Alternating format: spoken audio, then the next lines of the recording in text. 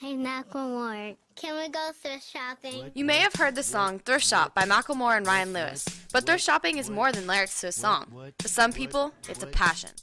I've been thrift shopping for about three years now. I've been thrift shopping for probably close to 30 years.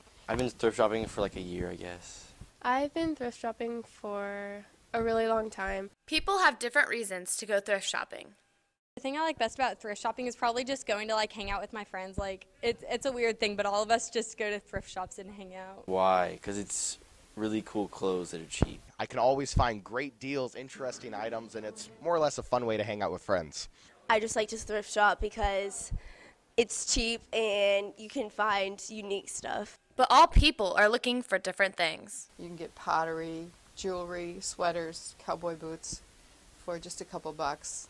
And then there's lots of stuff for my students to draw. So we never run out of subject matter in the art department. We carry juniors, petite, talls, misses, women's, you name it, maternity.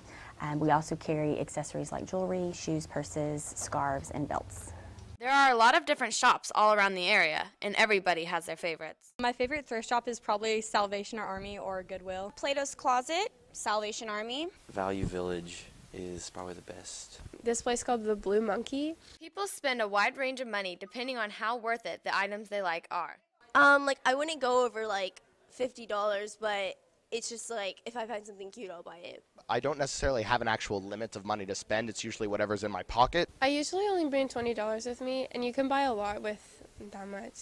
The best thing about thrift shops are those special finds. I think the best thing that I ever found was the wedding dress that I used for a play. I found a record. I found a Glenn Miller record, and uh, he's like from the 40s, so I really like that. I have a lava lamp in my room that I got for $2.50 at Dav's thrift shop. $200 pair of jeans for $20, unworn, tags still on them. Probably a pair of Keds that I got.